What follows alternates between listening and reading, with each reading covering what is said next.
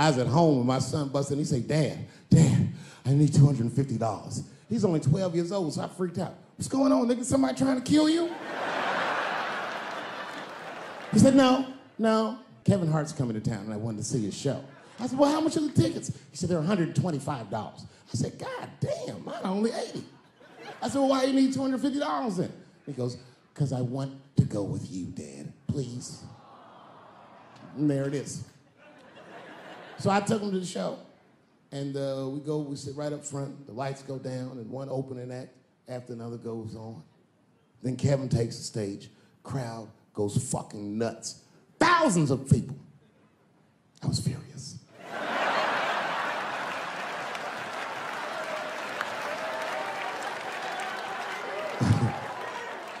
the longer the show went on, the madder I got.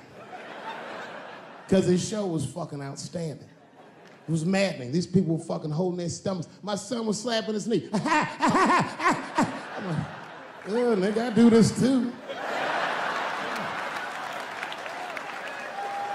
Kevin says, good night. The crowd goes crazy. And then everyone starts walking to his door and the lights come on. And then my son is just standing there looking at an empty stage. I'm like, man, this place fucking sucks. I said, come on, son, let's get out of here. And then my son looks back at me and he says, Dad, please, please, I have to meet him. I was like, oh my God. so I took him backstage. I've known Kevin for years, but can you believe I was scared to knock on his dressing room door? I almost said, I said, son, I haven't seen him for a long time, but I. And, and one of Kevin's goons opened the door. Hey, what's up, Dave Chappelle? What you doing, man? It's good to see you, brother. What you doing in this area? This is a terrible area. Yeah, actually, I live around here. Listen. Um, is, uh, is Kevin here? Uh, my son just wanted to meet him real quick. Well, I don't know, because Kevin's about to eat dinner. Just think Kevin came around the corner to see who it was. What? Oh, shit. What's up, Dave? Come on back. I was just about to have dinner. I don't know if you guys ate, but you're welcome to join me if you like. And then my son pushed past me some cold shit. He goes, Actually, Mr. Hart, we haven't eaten in several hours.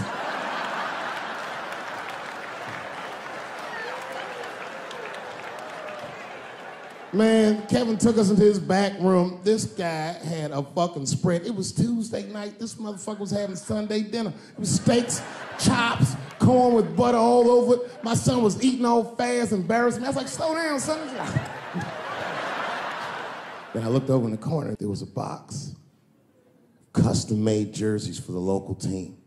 Each one was hand-stitched, and on the back, they stitched on the K Hart on all of them.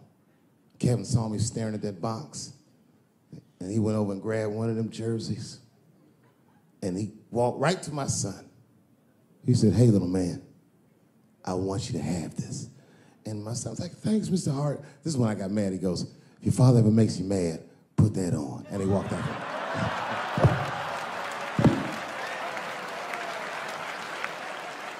oh, that was some cold shit.